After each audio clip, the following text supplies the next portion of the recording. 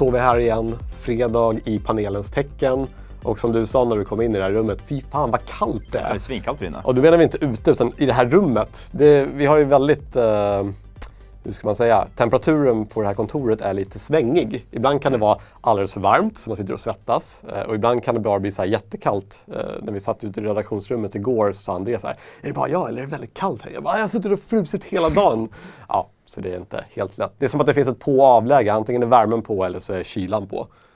Eh, och det blir lite svårt då när vi är inne i mars och det har blivit kallt igen. Och, ja, Sen är kontoret typ så här 110 år gammalt. Ja, precis. Ingen Det är liksom, utan- det är någonstans är det ju inte dimensionerat att ha så här mycket folk och reglera eh, temperaturen. Ja, isoleringen är säkert också skit. Ja, precis. Men eh, vi får se hur länge vi blir kvar här helt enkelt. Om vi pratar mycket så håller vi oss varma. Ja, precis. Det är så här. Står och stånkar liksom. Står. Eh, ja, det har ju hänt eh, i vanlig ordning en hel del på hårdvarumarknaden. Eh, och det är ju därför vi står här för att orda om vad som har hänt egentligen. Eh, och vi kan väl lika gärna riva av på en gång eh, med en uppföljning på förra fredagsspelen när vi snackade om GeForce GTX 1660 Ti. Och det följde vi upp med att prata om ett kommande kort som vi hade lite rykten om då som hette, hör och häpna, GeForce GTX 1660. Minus 10. Precis, inte TI. För nu börjar man med att lansera TI och sen släpper man de vanliga korten efter tydligen. Eh, och det har ju nu lanserats faktiskt. Eh, närmare bestämt igår så rullade Nvidia ut det här kortet. Eh, vårt intryck från Nvidias sida är att de verkar inte bry sig om det här kortet. Ja, verkligen. Och samma med deras parter. De, alltså engagemanget är noll kring det här. Vilket är rätt märkligt tycker jag, för det här är ändå liksom den sanna efterträdaren till 1060 som är ett jävligt populärt kort. Ja, och jag tycker faktiskt det är lite konstigt också. Just, jag tänkte 1660 Ti, där kändes det som att visst, de var inte så här att de slog på världens största trummor för det kortet. Men det var definitivt mer buzz kring det, både från Nvidias sida och från partnertillverkarna. Eh, och det här lägger ju sig en lite mer intressant prispunkt kan man säga. Just för där, där det går in och egentligen ersätter, Nvidia själva säger att det ersätter 1063 GB. Det här kostar ju lite mer än det. Ja, och 1660 Ti ersätter enligt Nvidia 1060 6 GB och kostar lite mer också. Ja, exakt. Den här ligger egentligen precis mitt emellan de båda 1060-varianterna. Ja. 6 och 3 gig. Exakt, så riktpriset eller instegspriset är 2500 kronor. Eh, och det lägger ju sig väldigt intressant då, för det är ett, ett område där många köper grafikkort. Eh, speciellt om man ska uppgradera sin dator, man sitter på ett äldre grafikkort, säg ett 960 eller ännu äldre. Och vill lägga pengar på ett nytt grafikkort så är det oftast, men säg runt 2500 kronor, en ganska fin smärtgräns. Eh, och eh, prestandamässigt så ligger det här kortet, ja det är ju snabbare än ett eh, GeForce GTX 1066 GB.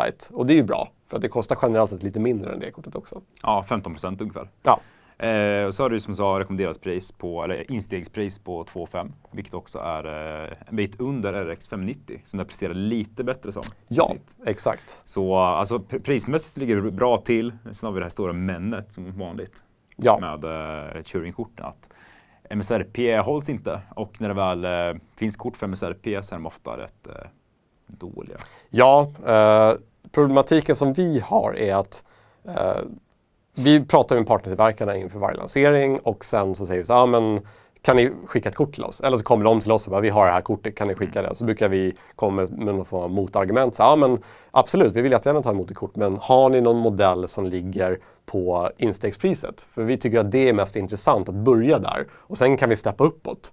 Eh, problemet är att de sidar liksom inte exemplar i det segmentet, utan de vill ju alltid visa sitt, ja men vi har ju det här fabriksöverklockade kortet med den här kylaren. Man bara, okej, men vad kostar det?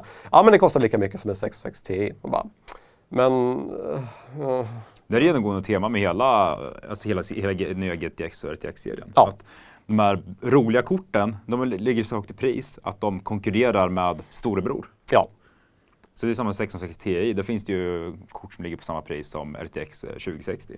ja, Och vissa 2060-modeller ligger för nära 2070 i pris och så vidare. precis. Det är ju jävligt tråkigt. Och det gör ju också jättesvårt att sätta, eh, rättvisa betyg på de här. Ja, det är väldigt svårt. Och det är också svårt att bedöma GTX 1660 ur aspekten att de korten som ligger på 2500 spänn, vi vet inte hur... Vi, vi vet ju att prestandamässigt är det inga problem där, troligtvis. De, ligger, de presterar som de ska. Däremot så finns det ju andra aspekter som kyllösningen framför allt. Eh, Är det en bra kylare? Låter den för jävligt? Bara sådana grejer kan ju vara dealbreaker för många också. Eh, och det vet vi inte helt enkelt. Eh, det kortet vi hann få in till recensionen är det här från EVGA, det är deras GTX 1660 XC Ultra, vilket är eh, i mer eller mindre deras toppkort. Och de har ju då ett rekommenderat pris på det här för 2800 kronor. Det är några hundralappar över 2500. Men sett till prestandan på kyllösningen på det här kortet som är riktigt, riktigt bra. Den är både tyst och den håller kortet riktigt kyligt. Eh, så tycker vi att det är ett bra kort. Det är värt med 300 kronor extra. Ja, precis. Eh, problemet är att eh, priserna verkar ju jäkligt svängiga just nu. Och priset på det här kortet har justerats typ 18 gånger sedan de kom upp hos OF. Liksom. Mm. Så vi vet inte om det kommer kunna säljas för 2800 spänn eller om det inte kommer kunna göra det. Det, det, verkar, vara, det verkar vara lite delade meningar helt enkelt. Så det gör det svårt. Ja. Och jag har ju hört från eh, branschhåll att Nvidia gett sina partnertillverkare extremt låga marginaler med de här korten. Eh, vilket gör att de har väldigt svårt att hålla eh, MSRP. Mm. Det var något jag hörde att men de har strax under 10 i marginal och det är innan det, det har gått vidare till distribution och återförsäljare. Eh, och den här marginalen talar man då med MSRP-priset. Och gör att många vill ju steppa upp och släppa lite dyrare kort för att mm. få lite högre marginaler. För liksom under 10% innan distribution, det är ju lika med noll och ingenting. Ja, precis. Men i det stora hela, det, det är utan tvekan ett bra grafikkort för 2500 spänn. Mm. Så är man ute efter att köpa ett grafikkort för 2500 spänn så är det ett bra köp. Det erbjuder mer prestanda än föregående generation. Eh, det finns ju väldigt mycket kort som ligger mellan 2000 och 3000 kronor.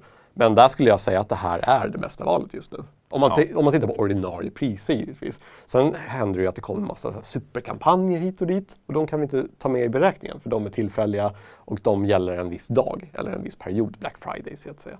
Ja.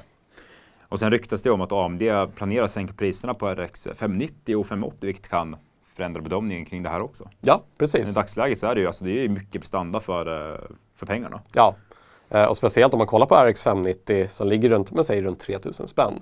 Eh, det här kortet presterar ungefär likadant. Fast det drar ju så mycket mindre effekt mm. Eh, och därav så kan man använda lite svagare kyllösningar och få en mycket lägre ljudnivå.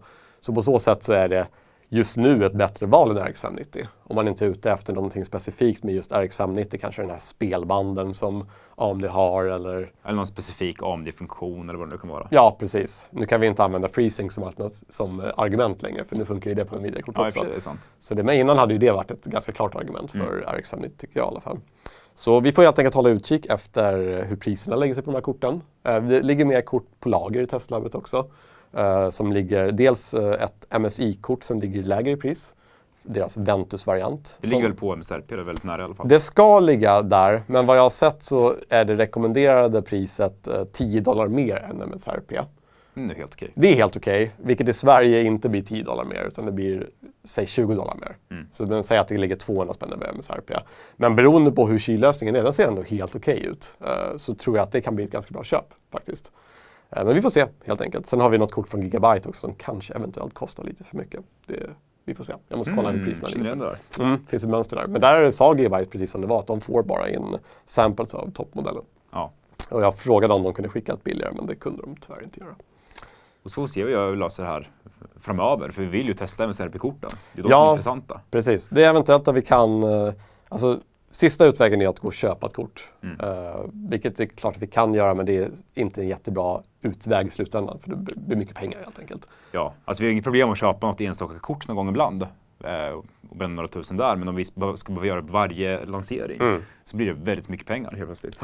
Och uh, visst, det skulle gå att göra men det vore verkligen en sista utväg vi försöker verkligen att, att lösa det på något sätt. Vi kanske kan få låna från någon OF i området också. Mm. Eh, ibland är de, finns det möjlighet att göra det. Eh, så det kan vi kolla på också. Men eh, det vore kul att testa ett som verkligen ligger på 2499 spänn och bara, hur är det här kortet? Ja, verkligen så bara köra en bedömning av det här, så här presterar ett GTX 1660. Ja, punkt. precis. Rakt upp och ner liksom. Ja. Så ja, men det här, blev nog, det här tror jag blir det sista kortet eh, för nu, för den här stundande våren, som vi kommer köra i vår normala testsvit om man säger så.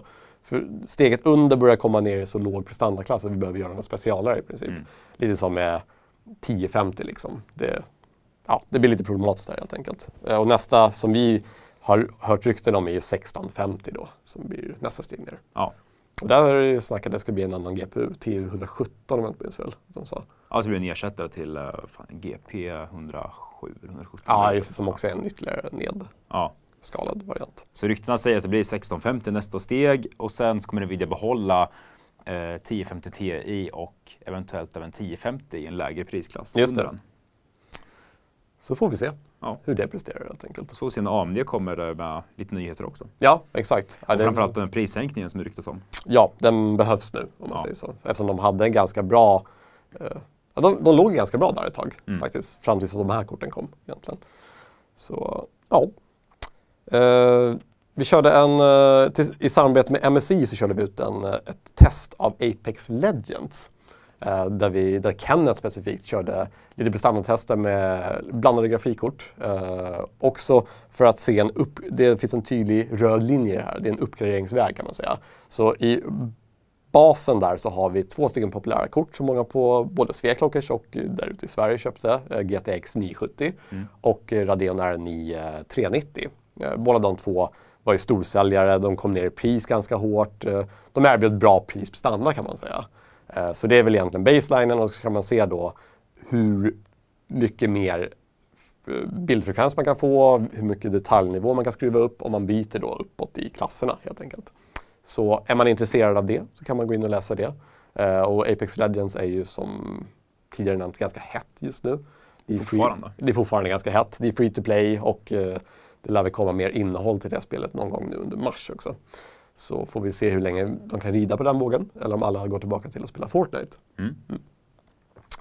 Uh, vi har även hunnit med ett till test av uh, GTX 1660 Ti-kort uh, från både, det var fan inte GB UVGA, jag tror att det var två andra kort, jag har skrivit fel här. Undrar om det inte var, det kanske var och UVGA. Jo, det var det nog förresten, nu när jag tänker efter. äh, det, det har varit så många grafikkortstester. Den gemensamma nämnaren för båda korten är att de är för dyra mm. i alla fall. Eh, de kostar alldeles för mycket om man tittar mot eh, RTX 2060 då, som ligger runt 4000 kronor. Och de här två korten närmar sig dem alldeles för mycket. Ja. Och det är ju den problematiken vi ser här för, ja, för 1660-familjen överhuvudtaget. Att eh, den är väldigt beroende av att den ligger rätt i prisklass. Annars så börjar den nafsa upp mot de här korten som är starkare. Och Någonting vi inte nämnde med 1660 är att de överklockar faktiskt väldigt bra också. Ja, just det. Eh, det kommer ju upp i nästan samma nivå som en 1660 Ti när vi överklockar Men det är ju inte garanterat i exemplarvariation där också. Mm. Den kan vara värt att nämna. Och prisnivåerna för just, eh, jag skulle säga 1660 Ti är ju extra känsliga för de har ju ett rekommenderat pris på, är det 3 och 2, 3? Ja, 3250. Ja. Eh, och om de ligger liksom, ja, några hundralappar över där så kommer de upp till 2060.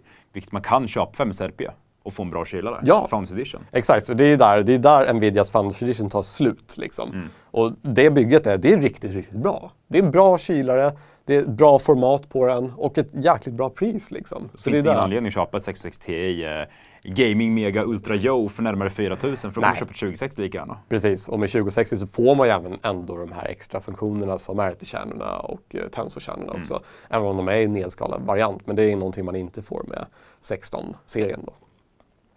Alltså det här är klart mer intressant tycker jag, 1660. Ja, det tycker jag också. Definitivt. Uh, sista grafikkortsnyheten har vi egentligen kanske inte riktigt med grafikkort att göra, men det är relaterat till det. det är att Nvidia har förvärvat ett företag som heter Mellanox mm. för 65 miljarder kronor. Det är mycket pengar. Ja, och alla bara, Mellanox, de är välkända. alltså, ingen känner till dem liksom. Ja, de är, de är jättestora i server, servervärlden. Ja, just det. Uh, gör interconnects och massa konstiga grejer. Ja, de är världsledande inom interconnects mellan typ så här ja, typ. datacenter typ. och kluster och så vidare. Ja, jag tror bara typ vartannat datacenter använder teknik för mellan också. Ja, så det är ett ganska bra move från Nvidia som arbetar väldigt mycket med det segmentet också. Mm. Speciellt om de ser att gaming-segmentet eh, går ner nu. Eh, de kanske inte säljer lika bra där så är det ju bra att ja, skifta fokus mot där pengarna finns, om man säger så. Även om man behöver betala väldigt mycket pengar för det. Ja, det var ju tydligen budkrig mellan Nvidia och Intel också. Ja, jag såg det. Så det var fler som ville åt den här kakan. Ja. ja. ja men intressant i alla fall. Få se hur det materialiseras sen. Verkligen. Uh, nästa rubrik handlar om processorer och främst om Intels svårigheter med att leverera processorer. Vilket har ju varit väldigt mycket snack om uh, i slutet på förra året uh, i och med det här eh, fadäsen med att försöka gå över till 10 nanometer de senaste åren och att eh, produktionslinjerna skiftar över till 10 nanometer lite för tidigt. Och det blev helt enkelt svårt att pumpa ut CPUer både till konsumenter och till servers och workstations Mm. för Intel. Eh, och det här ser ju, blev ju lite bättre nu under början av året men ser ut att förvärras ytterligare en gång nu till andra kvartalet. Och det tillskrivs tydligen att eh, försäljningen av Chromebooks kommer att gå upp. Vilket är jättekonstigt. Ja, jag tycker också det är lite konstigt. Men många Chromebooks använder sig av instegsvarianter av Intels CPUer. Mm. Eh, Och Intel har ju som känt skiftat över produktionen till att prioritera högmarginalprodukter, alltså Xeon och servrar och eh, överklockningsbara K-modeller och så vidare. Ja. Och sen så prioriterar de inte budgetsegmentet alls överhuvudtaget, ja, kan man säga. nej, precis. Så det kan då eventuellt bli brist av levererade CPUer till det Mm. segmentet. Eh, och det återstår ju att se. Det här är ju en, en analys egentligen. Det är inte så här, så här kommer det bli. Men det vet man ju inte. Och Intel har ju skiftat om mer och de har ju öppnat en ny anläggning för 14 nanometer tillverkning vet jag också. Ja. Så ja, det återstår att se helt enkelt. Alltså den anläggningen måste komma på plats och sen måste den gå över till 10 nanometer så att eh, trycket på 14 nanometer inte blir lika stort som fabrikerna. Just det. För de har ju, lik- de har ju, liksom, de har ju byggt fabriker för 10 nanometer som var tänkt att de skulle producera processorer i. Mm. Bara att de inte fått, eh, eh, ja, fått igång tekniken ordentligt. Nej. Problem att få bra yields och så vidare.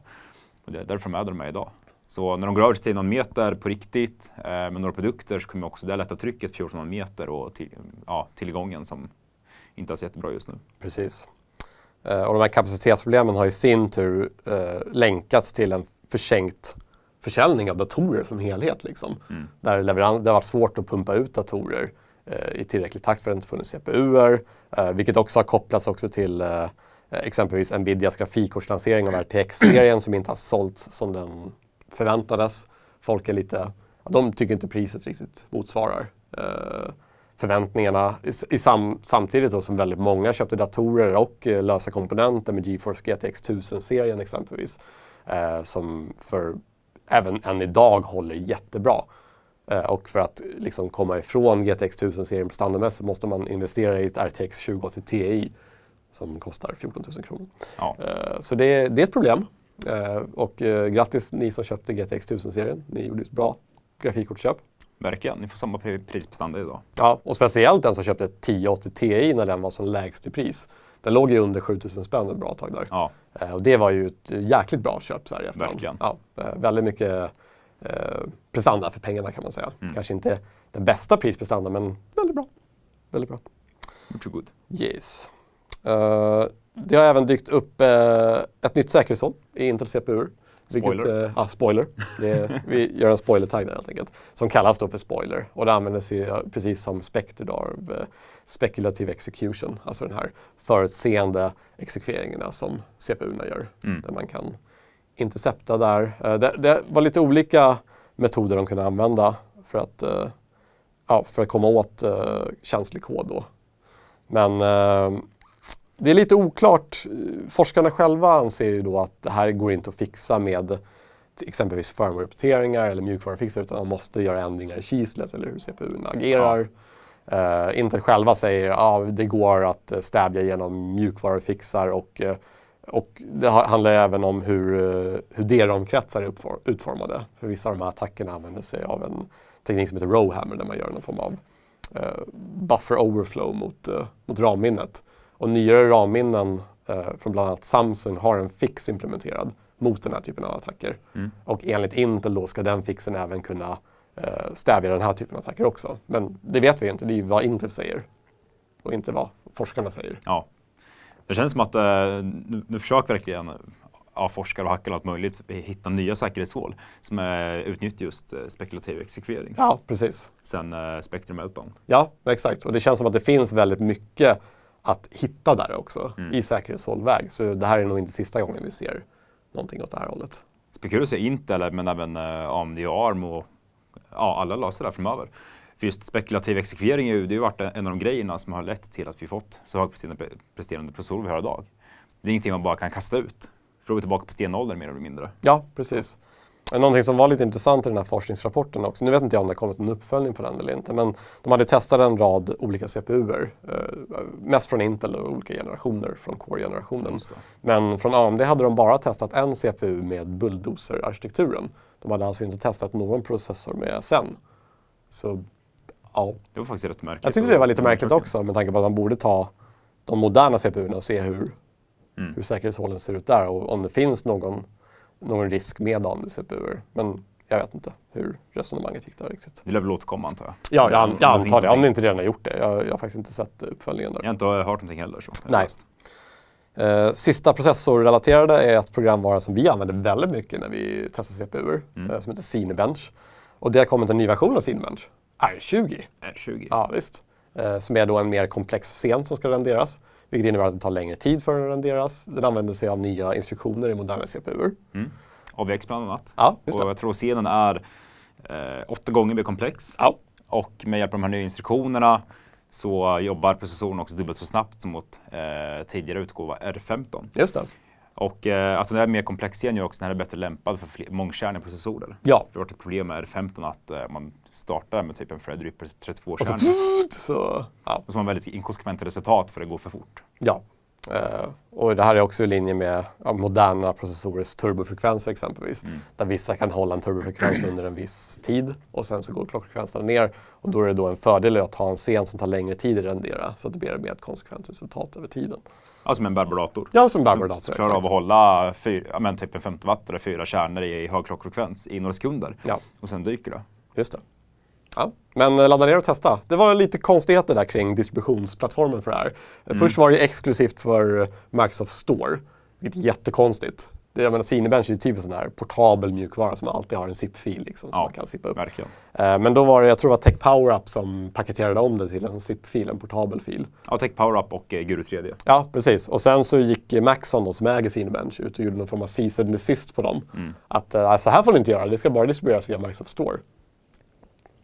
Jättekonstigt. De, man kan ju tycka att Maxon ville få ut den här mjukvaran till så många som möjligt. Ja, verkligen. Om de inte har någon monetärt utbyte med Microsoft, att bara ha det i Microsoft Store. Mm.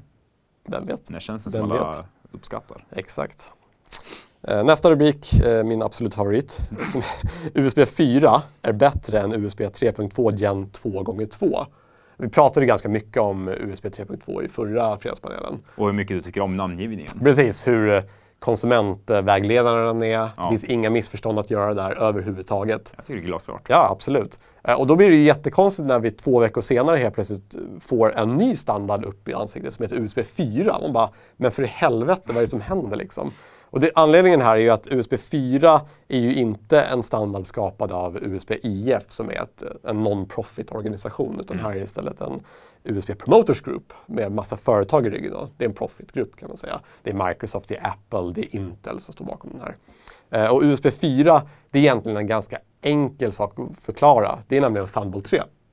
Ja. Ja, kort och gott. Eh, Intel har ju sagt tidigare att de ska släppa licensen för Thunderbolt 3 fri så att eh, vill, vem som helst ska kunna implementera den i sina kretsar. Och det är i princip det som har hänt nu. De har släppt licensen fri och tillåter då kretstillverkare av USB-styrkretsar att eh, implementera USB 4 eller Thunderbolt då som det är. Mm. Så specifikationerna är densamma som Thunderbolt. Upp till 40 gigabits överföring. Och kompatibilitet också med Thunderbolt-enheter och så vidare. Så Ja, precis. Och även nedåt då med USB så att säga. Eh, Så den är ju bakåtkompatibel med USB. Men Thunderbolt 3 skulle leva kvar. Ja. Eh, då enbart med Intel-processorer såklart eftersom det är deras, eh, deras hjärtebarn. Ja. Men med någon form av Intel-certifikat att det här fungerar med. Thunderbolt-enheter. Men tekniskt sett så är både USB 4 och Thunderbolt 3 eh, exakt samma sak. Så.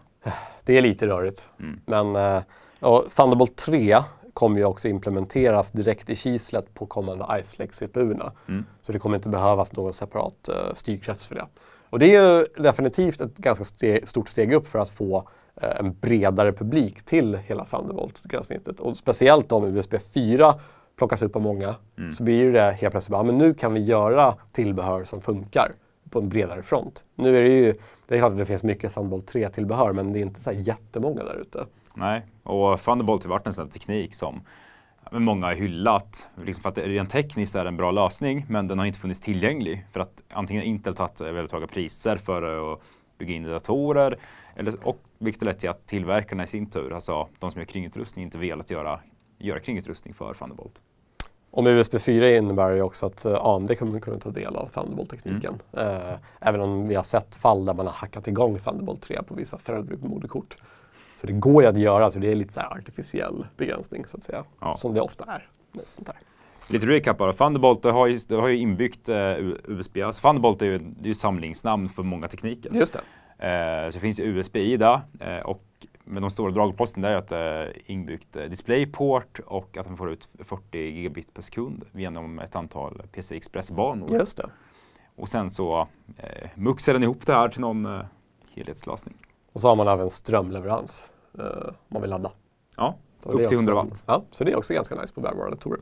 Så det, är, det är Thunderbolt verkligen så här one cable through them all. Ja. Eh, eller kan bli i alla fall. Vi får se hur det blir med den saken. Så får vi se hur många såna här certifierade kablar som kommer ut. Mm. Som inte är certifierade och inte funkar överhuvudtaget. Det är också en rörig röra för sig. Ja, men Thunderbolt 3 har ju rätt höga krav på kablarna. Det har ju det. Eh, Som att inte USB-C i sig kan ha ganska höga krav på det ibland också. Och det Ja. finns väldigt mycket genvägar som vissa tillverkare tar. Ja, USB-C är ju till en clusterfuck. så. Japp, det är det. det, är det. Eh, nästa rubrik handlar om minnen och specifikt minnespriser på DRAM-moduler. Eh, och den är fortfarande på väg ner. Mm. Eh, håller man koll på exempelvis prisjakt så ser man att det finns en ganska fin nedåtgående kurva. Om man tittar tillbaka på ett år så låg kanske jag tror att exemplet jag vill ta är, vi använder ett par Corsair-minnen, deras LPX eh, 16 gigs kit i 2 8 gigs moduler. Eh, maj förra året så låg de på ungefär 2000 spänn, det kitet. Och nu senast när jag kollade så låg samma kit på 1300 spänn. Det är bra. Ja, så det är definitivt en nedgång eh, och på väg ner mot det här magiska 1000 kronors strecket Mm. som jag gärna skulle se. Men vad är egentligen anledningen då till att minnespriserna fortsätter falla? Det här är egentligen en eh, perfekt eh, skitstorm för tillverkarna. Ja. Vilket är jättebra för konsumenter. Eh, men det var ju så Samsung, SK Hynix och Micron hade under, väldigt många år kapacitets, eh, inte problem, men eh, brist. Och det var, det var väl lite artificiellt. Liksom, de ville inte bygga ut sina fabriker för mycket för att de ville hålla ner volymerna för så sätt kunna hålla uppe priserna. Eh, men sen så kom de till, till slut till ett steg där de var tvungna att bygga nya fabriker. Och då gjorde de det. Och i samband med det så eh, skedde massa andra saker, bland annat att Intels eh, kapacitetsbrist på eh, processorer, vilket gjorde att, eller gjort i dagsläget, att minnestillverkarna har svårt att kränga iväg minnen, Mm. för det inte finns några processorer att para ihop minnen med. Så nu har de liksom överlager av minne, eh, vilket gjort att de måste dumpa priserna. Men eh, oavsett hur mycket de dumpar priserna nu så får de inte iväg minneskretsarna för att, inte, för att det inte finns några processorer. Så nu är priserna i princip i fritt fall. Ja, så vi får se var botten ligger. Liksom. Ja. Och om det kommer stabiliseras på botten eller om de kommer gå upp igen. Nej, det blir som bara börja studsa upp. Liksom. Ja, så, hoppas inte det. nej, vi får verkligen hoppas att det inte blir så. Men eh, värt att nämna också, priserna nu ligger ju strax under eh, 80 kronor per gig, vilket fortfarande är mycket högre än de 40 kronor per gig som det var ett tag under 2016-15 tror jag. Ja, just det. När de var rekordlåga, minnespriserna. Eh, Den bästa tiden att bygga en ny dator, kan man säga. Ja. Jag köpte upp 16 gig för 700 spänn tror Ja, jag. det är helt sjukt alltså, om man tänker tillbaka nu för bara ett år sedan. Och bara så här, ja. Jag vill inte köpa minnen typ. Men man vill ju inte det, man vill inte bygga nytt. Liksom. Mm. Så ja, det, det är fan jobbigt alltså. Så vi får, se, vi får se vad som händer där, men eh, väldigt kul utveckling tycker jag i alla fall. Ja, verkligen. Eh, från hårdvara till eh, spel, som man använder hårdvara för att spela. Mm. Eller någonting.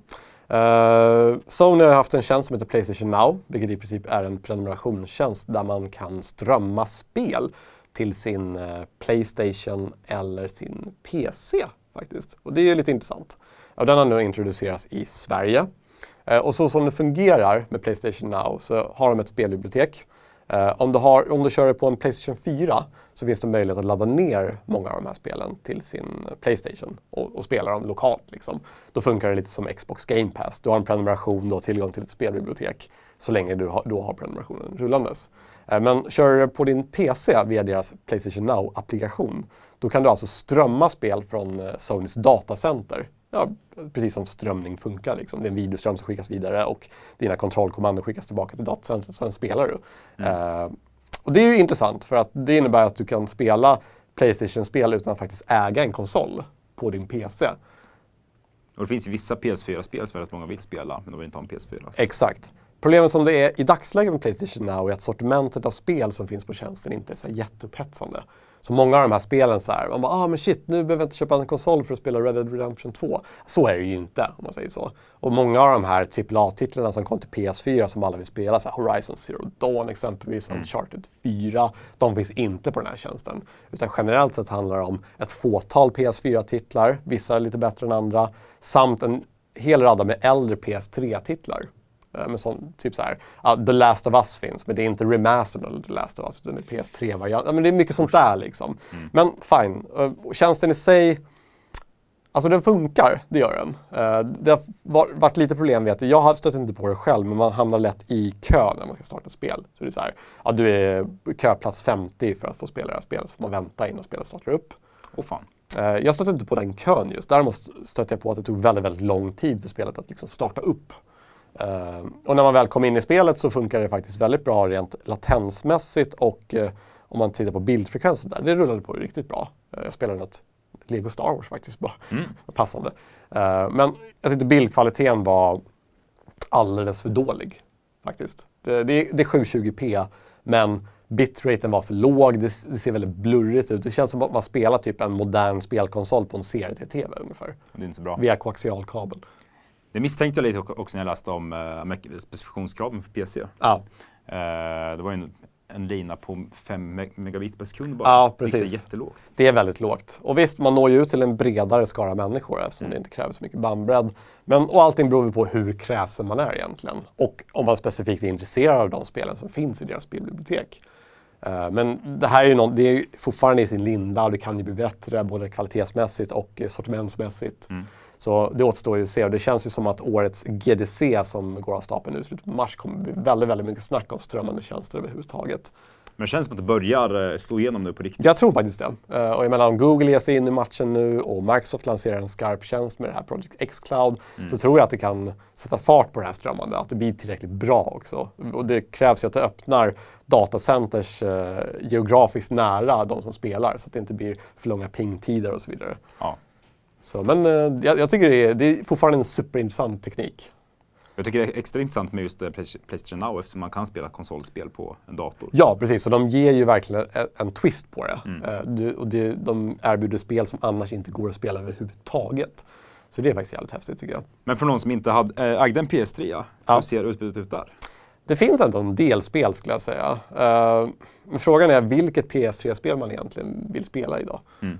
Det är det som är grejen. Liksom. Jag, jag, jag alltså, det liksom finns ju en backlog som är allt annat. Ja, det gör ju det. Precis. Men det, spela och vill spela. Och det är klart att det kom intressanta exklusiva titlar till PS3, men det är fortfarande så här... Jag vet inte riktigt, om jag ska vara helt ärlig. Uh, ett spel som många kanske ville spela var ju Red Dead Redemption 1. Det finns. Okay. Om vi kör det. Uh, men ja, den upplevelsen blir ju den blir ju bättre på en Xbox via back backward compatibility om man säger så. Uh, om man nu vill köpa en Xbox. Jag vet inte det är, det är svårt det där. De flesta är väldigt motstridiga till att köpa spelkonsol och ha en PC också. Mm. För det blir ytterligare en device och man vill ju spela på sin PC. Ja. Såklart man vill. Precis. Uh, mer Battlefield 5. Uh, det har ju varit lite skakat upp och ner uh, kring mottagandet av det. Många användare tycker att ah, men det är inte det Battlefield jag vill ha. Men de fortsätter att lägga till innehåll i det och senast nu som kommer i slutet på månaden är det här Battle Royale-läget som heter Firestorm. De har rullat ut en trailer på det och det ser faktiskt, det var, var en väldigt bra trailer. Jag blev lite taggad på att testa den måste säga. Eh, och det är då Criterion Games som har utvecklat den versionen av, uh, av Battlefield 5. Så det ska bli intressant att se hur den mottas och mm. om det också blir en, ytterligare en konkurrent till uh, PubG och Fortnite och Apex Legends och så vidare. Men det här är ju inte, en, uh, det är inte ett gratis spel, du måste fortfarande äga Battlefield 5 för att få tillgång till det. ja, när jag jag är inte så jätte, jätte ska man säga, positiv kring det här. Nej. Eh, eller positiv, är fel ordval, men i alla fall att det här borde funnits när det släpptes. Ja. Det känns som att det blir lite too little too late, så de kommer med det ett halvår efter spelet lanserats. När det dessutom kostar pengar. Ja. Eh, så jag har väldigt svårt att se att de kommer, att de kommer kunna slå sig in på Battle Royale-genren med det här. Precis. Jag tror inte som som ett men som ett komplement till det riktiga spelet mm. så erbjuder du ett till spelläge. Men som sagt, som du säger, det är lite för sent för att liksom göra det här. In, nu börjar ju Battle Royale-genren bli lite mättad om man säger så. Alla vill göra ett Battle Royale-läge i alla spel och hade man hakat på PubG direkt där, eh, som exempelvis Epic gjorde med Fortnite och gjorde ett Battle Royale-läge väldigt snabbt inpå. Mm. Så det, det är så, man måste agera väldigt snabbt. Sen kom ju Apex Legends nu och gjorde en ganska sen entré. Men man gör det med twisten att det är free to play också. Och det är det, egentligen det som behövs för att slå sig in på marknaden nu. Eh, men det är krångligt, det är Ja. det faktiskt. Men eh, än så länge så verkar intresset för Battle Royale vara väldigt högt. Även om det kanske är svårt att hitta nya titlar. Ja. Eh, sista spelnyheten, eh, Halo. Eh, ett spel som ursprungligen skulle kommit till Macintosh faktiskt. Åh fan. Ja, Bungie är en gammal Macintosh-utvecklare. Eh, och sen så sket de med det, de fick massa en pengapåse av Microsoft. Bara, nu ska ni göra det till Xbox istället. Och sen släpptes det till Xbox och alla blev jätteledsna.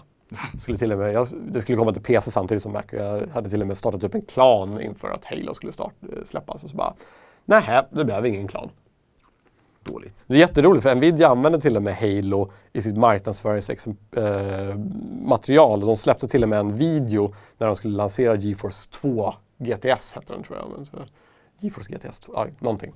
Eh, och då använde de Halo som exempel. Eh, och det var så ah, och en Bungie var med på tåget, vi ska köra på GeForce 2. Och sen så kom det aldrig. Men Halo, Halo 1 och Halo 2 kom ju faktiskt till PC senare, eh, långt efter Xbox-releaserna. Men nu så kommer Microsoft att släppa hela Halo The Master Chief Collection till PC under året. Det är nice. Det är faktiskt väldigt nice och det är många som har väntat på det. Så förutom Halo 1 och Halo 2 så kommer även Halo 3, Halo 3 ODST, Halo 4 och man kommer även lägga till Halo Reach då som är en prequel till alla de här spelen. Eh, Så det är ett ganska gediget spelbibliotek kan man säga. Eh, Och det återstår ju att se hur bra den här PC-porten blir. Förhoppningsvis blir den väldigt bra. De har ju lagt en ganska bra groundwork när de gjorde The Master Chief Collection till Xbox One. Även om det hade viss problematik vid lanseringen, speciellt när det kom till multiplayern. Uh, Master Chief Collection har ju tidigare funnits som ett paket med alla spelen, men till PC kommer det släppas individuellt varje spel.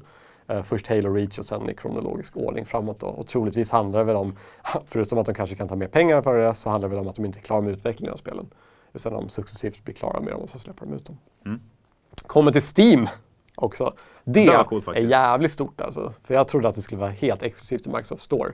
Men jag tror att Microsoft tänkte till lite där och bara, om vi släpper det på Steam så kommer vi sälja väldigt mycket mer. Ja. Och det här är något som väldigt många väntat på också. Ja. Med Halo till PC. Det är det verkligen. Jag har själv hört väldigt mycket bra om Halo och liksom hela, hela serien. Mm. Men det har inte varit, varit ett sånt draglok för mig att jag velat köpa ett Xbox bara för att spela Halo. Så. Nej, det är bra spel, det är det faktiskt. Och av, med den här Master Chief Collection, med den upphottningen de har gjort av grafiken också. Så håller de än idag, skulle jag säga. Kul. Ja, så jag skiter i min eh, Xbox-utgåva av det här och så väntar jag på PC-versionen. Ska jag spela igenom alla spelen igen. Det ska bli väldigt kul. Så du har köpt ett Xbox också? Mm. Okej. Jag har ett Xbox One. Jag har spelat igenom Halo 1 på den. Fånga alla utgåvor. Som i GTA. Exakt så. Väldigt viktigt. Eh, ja, och med det går vi vidare till Throwback Thursday, vårt, eh, vår tillbakablick varje vecka på de åren som har gått i hårdvaruvärlden. Och det är då en del i ledet av Sveklockans 20 år som vi fyller i år. Där vi gör lite tillbakablickar helt enkelt. Eh, och de här veckorna som varit nu så hade vi dels en tillbakablick på AMD Radeon HD 6990 som fyllde åtta år. Jävla fett grafikkort Ja, kom. det är fortfarande väldigt kul att ta fram det än idag. Det är ett väldigt långt grafikkort, det har två GPUer. Det, det var ju väldigt maxat för sin tid om man säger så. En liten, liten fläkt. En liten, liten fläkta. Och det överskred till och med PC Express-specifikationen för att det drog så mycket. Mm. Så det, äh, det, var, det var häftigt på sin tid. Eh, har inte riktigt åldrats med värdighet kan man väl säga. Eh, Crossfire i sig är ju lite krångligt eh, att få igång ibland. Och i implementationen på HD 6990 med 4 gig VRAM som delas på två kretsar. blir ju inte alltid jättebra. Nej, du har i praktiken 2 gig minne tillgängligt. Ja. Med dagens speltitlar så är det väldigt, eh, väldigt för lite. Ja, precis. Och det officiella drivrutinstödet för det här kortet avslutades i slutet på 2015. Mm. Så även det är ett problem i dagsläget om man säger så. Och det här var ju sista generationen innan AMD kom med Graphics Core Next där de har lagt all, all resurser, all, all energi när det kommer till mjukvaruoptimering. Så det här är ju ett grafikkort som inte har fått några som helst optimeringar för varken eh, prestanda nya spel eller Crossfire på väldigt många år. Precis. Vad hette den arkitekturen? Eh, Terrascale. Terrascale, så var det. Precis. Jag glömmer var- alltid bort det. Ja, så det var ju Terrascale 3. Just det, sista anhalten innan de gick Mm. över till GCN. Ja. Och där var det ett ganska stort hopp. 79-70. Eh, ja, det var det. Ja. Det var ju både i GCN och 28 meter från 40. Ja, just det. Jävligt häftigt faktiskt. Men där kan ni gå in och läsa. Vi fick tyvärr väldigt begränsat med presenttester för vi hade väldigt svårt att starta några spel överhuvudtaget. Så det blev 3D-mark helt enkelt. Vilket är talande i och för sig. Ja, ja det, det är ganska talande. Det är det. Eh, sen igår rullade vi även en Throwback Thursday som handlade om Core i7 980X, kodnamn Gulftown. Som var en jävligt häftig CPU när den släpptes. Ja, eh, när jag började skriva på den här igår så kändes det bara att det här varit en hyllningstext. Ja, Men så läste jag tillbaka på recensioner och det var verkligen så här, det här var ju, det var ju en processor i världsklass när den kom. ja. Den var ju först med att erbjuda sex kärnor till eh, konsumenter med eh, 12 trådar. Eh, och liksom den flertrådiga prestandan vart ju som resultat av det här skyhög och den enkeltrådade var också liksom i, i samma klass som eh, Intels tidigare processorer. Ja. Så de fick verkligen allting med den här. Och eh, den kostar 10 000 kronor i Sverige. Mm. Vilket är mycket pengar. Eh, eller var i dagsläget kanske inte så mycket en CPU, men då var det mycket pengar. ja. Men det var ändå en sån här CPU som många köpte. Mm. Bara för att ja, den var så jävla maxad på alla sätt. Mhm. Och det var den enda CPUn egentligen som blev upp till att vara Extreme Edition. Eh, tidigare så var det vart, ja, men den här eh, ligger 200 MHz över modellen under. Så du betalar sjukt mycket för något som är fabriksöverklockat mer eller mindre. Just det. Och det var i samband med den här som de gick över till en krympt tillverkningsteknik också, eller hur? Till Westmere, 32 nanometer. Ja precis, men Ja. eh, innan så kom faktiskt eh, Linfield. Ja, just det, precis. 32 nanometer. Ja. Och det var ju för sockel 1155, 55, 56 var det. 56 ja, typ eh, i5 750 exempelvis. Ja. En ganska, ändå en ganska populär serie. Jag ser fortfarande folk på Svek som använder de CPUerna. Mm. Så Det var riktigt storsäljande. Just det. Och till och Fan, de släppte ju Clarkdale först, var det inte så? Med integrerad eh, IGP. Undrar om den kom först ja. Ja, för Jag Clarkdale, tror, precis, jag tror att det var så att Clarkdale kom först eller någonting. Jag, jag kommer inte riktigt ihåg ordningen där. Jag kommer ihåg i alla fall att Clarkdale var en krympning eh, eh, på något sätt. en grej som är rolig med Clarkdale är att den används som jämförelse med AMD ska göra med Ryzen 3000-serien. Med chiplets. Ja, är det så alltså? Ja, för Clarkdale använder ju en, liten, en jätte, jätte, jätteliten krets på 32 nanometer. Där de här två kärnorna var. Ja. Sen var det en separat krets på eh, deras tidigare teknik, teknik eh, 45 nanometer. Ja. Med minneskontroller och IGP. Ah, okej. Och PC Express också tror jag. Ja, just det. Så de var före med chiplet-designen? Ja, de var före. Nu går de tillbaka så blir det full circle. Exakt. Ja. Clarkdale-prestanda. Ja. Nej, Hoppas inte det. Eh, ja, och det var, det var det sista på listan här faktiskt. Men annars, saker som händer. Uh, testlabbet rullar för fullt. Eh, det testas för fullt där ute. Eh, jag tror att den här artikeln som Kenneth håller på med just nu borde vara ute eh, tills fredagspanelen är klar. Och är den inte det så handlar den om ett prestandatest av eh, Division 2 som släpps idag faktiskt, skarpt. Även om de som förbokade det och betalade lite mer pengar har tillgång till det några dagar. Mm. Annars är det jättemycket grafikkort som ligger där ute. Eh, Det är ett 2060, det är fler 1660-kort. Eh, Och sen har jag även ett chassi från Corsair som ska rullas ut också. Jag ska bara filma den recensionen. Och i övrigt, vi har eh, väldigt mycket projekt igång i bakgrunden. Eh, mycket kan vi inte prata om ännu. Jag kan ge en liten teaser om att vi hade, eller jag var med på ett uppstartsmöte om det här firandet som vi ska hålla någon gång i år. Just det. Mer än så säger jag inte. Nej. Datum kommer senare under året. Det ska bli väldigt kul att se. Mm. Ja. Men eh, med det sagt så får ni väl ha en jättetrevlig helg så ses vi igen om två veckor.